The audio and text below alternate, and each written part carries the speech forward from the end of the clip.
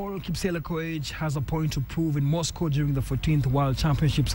Kipsiele, who is known for more exploits in the IAAF Diamond League, qualified for the World event by virtue of being the winner of Diamond League last season. He will team up with holder Ezekiel Kemboi, Abel Mutai, and sensation Conseslus Kipruto to ensure Kenya retains her signature race.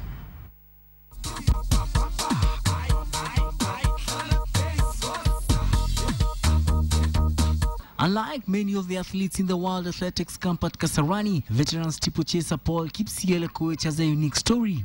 Kipsiele, who is from Chaplanget village in Sotik, has not been lucky during national trials for either Olympic Games or the World Championships. Kipsiele, who is a strong favorite in Moscow, says his spell of bad luck at home in the past is due to climatic factors. I normally have a problem in running in altitude, and uh, this is not the first time this year.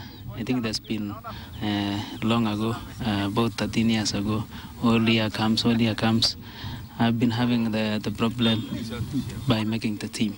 The last time Kipsiele represented Kenya was in Athens, Greece, where he clinched a bronze medal.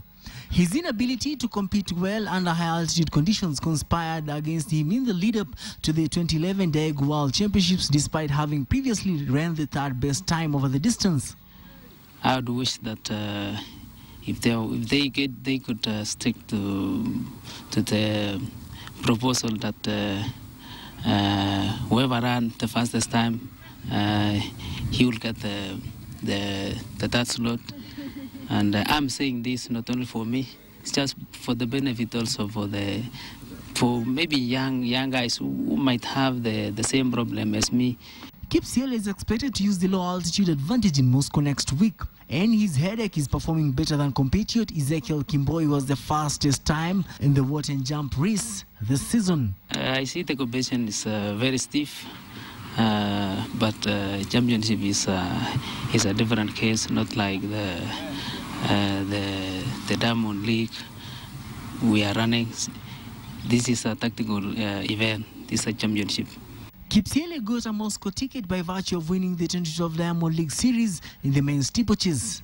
Victor Ogale, KTN Sports.